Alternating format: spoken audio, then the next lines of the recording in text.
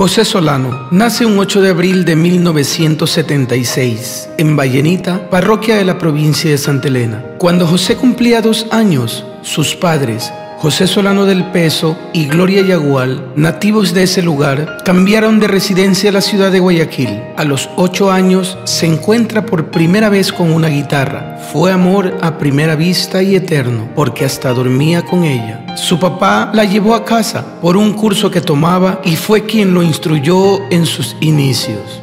A los 14 años, al ver tocar el requinto a su primo Alvin del Peso, nace en José el deseo de aprender a tocar este instrumento. Tocaba la guitarra en una iglesia y las monjas lo ayudaron para que tome sus primeras clases de requinto con el maestro Wilton Vera, a quien él admiraba. A los 18 años estaba como talento escondido. Su descubridor, el señor Teobaldo Pacheco, lo lleva al sitio conocido como el Rincón de los Artistas, que queda en las calles Esmeraldas y Gómez Rendón, en el centro de Guayaquil. Y durante dos años se dedicó a aprender de los grandes músicos de aquel lugar. A los 20 años inicia su carrera artística profesional como acompañamiento de requinto para artistas como Cecilio Alba, Julio Jaramillo Sánchez, Quique Vega, Pedrito Tiniano, Máximo Escaleras, Héctor Cruz, Roberto Calero, Noé Morales, Jenny Peñafiel, Clarita Vera, Lilian Suárez, Hermanas Moncada Álava, Hermanas Toral, Hermanas Juárez Villamar, Hermanas Quinde Salvador, Hermanas Reyes Rodríguez, Juanita Córdoba, Irma Arauz,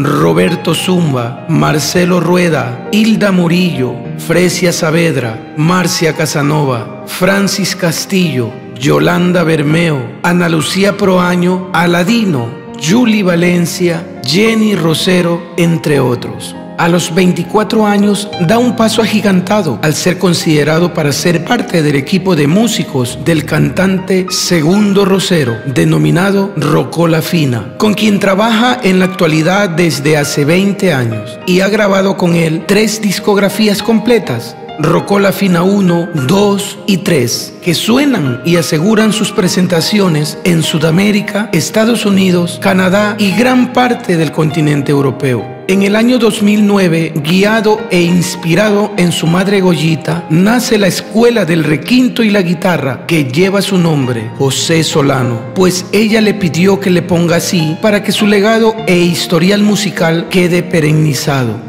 En sus inicios, las instalaciones funcionaron en las calles Huancavilca y José de Antepara, pero a partir del año 2017 hasta la presente fecha, en Avenida Quito y Capitán Nájera, donde cambia el nombre institutivo al de Solano Record Producciones que funciona como estudio de grabaciones de audio, estudio de grabaciones de video con tecnología 4K, áreas de salas de clases, Transmisiones con artistas en vivo por medio de un canal de televisión digital, Sol RTV Acordes Peninsulares. José Solano desde el 2014 es miembro activo de Sarime, Sociedad de Artistas y Músicos Ejecutantes del Ecuador y desde el 2021 de SAICE, Sociedad de Autores y Compositores del Ecuador, gracias a su discografía Gloria dedicado a su madre. Ya son 13 años impartiendo los conocimientos musicales tanto de guitarra como de requinto y queda la satisfacción de saber que estuvieron compartiendo con su maestro en la sala de clases artistas profesionales como Fernando Vargas, requinto desde el año 2009, José Herrera, requinto en el año 2009. Hermanos Alex y Wilford Ceballos, requinto y guitarra en el año 2010. Antonio Bravo, requinto en el año 2010. Jonathan Peralta, guitarra en el año 2011. Paul León, requinto en el año 2011. Christopher Reyes, guitarra y requinto en el año 2014. Alfredo Muñoz, requinto en el año 2015. Reinaldo Ortiz, requinto